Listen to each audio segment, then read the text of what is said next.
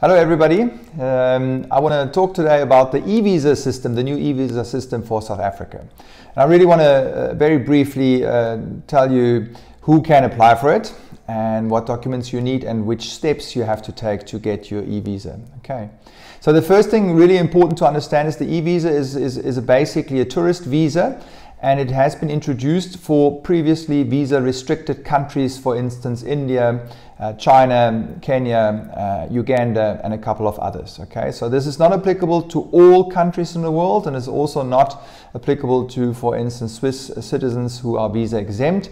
So this e-visa system is only applicable to a couple of nations and the Department of Home Affairs will roll it out, out time after time for other countries. They have started with Kenya and they have started with India right now in November 2021, but it is expected that they're going to roll it out to many more countries Uganda, Ethiopia, Mexico, DRC, and Iran. Okay, so it's only for tourist purposes. So, what documents do you need? You only really need a passport, an email address, as well as a credit card. The passport is very important, please. It needs to have two empty pages and it must be valid for more than 30 days after the intended departure. Okay, so 30 days after intended departure and two blank pages on the passport.